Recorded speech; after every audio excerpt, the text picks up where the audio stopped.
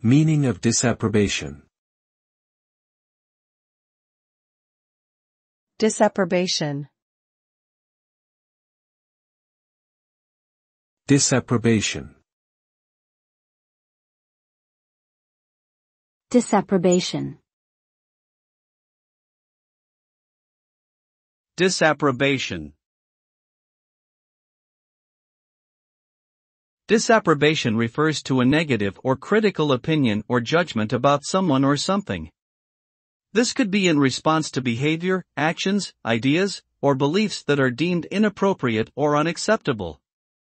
The result of disapprobation can range from social ostracism, loss of reputation, formal punishments or reprimands, or even legal consequences in some cases.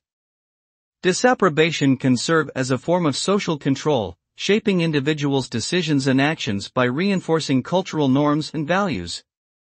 However, it can also be used to stifle dissent and limit individual expression and freedom.